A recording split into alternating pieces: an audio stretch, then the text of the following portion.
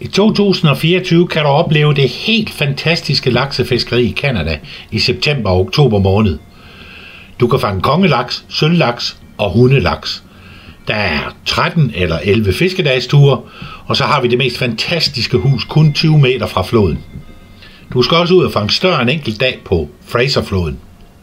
I august-september, der går turen til Blackwater i Irland, og hvor værter og guider er fra Blackwater Fly Fishing. Skærnå kalder på os i april, og to ture i august, hvor vi har lejet hele spælotsen. Vi skal simpelthen lære at fange laks i Skjernå på både flue og spind.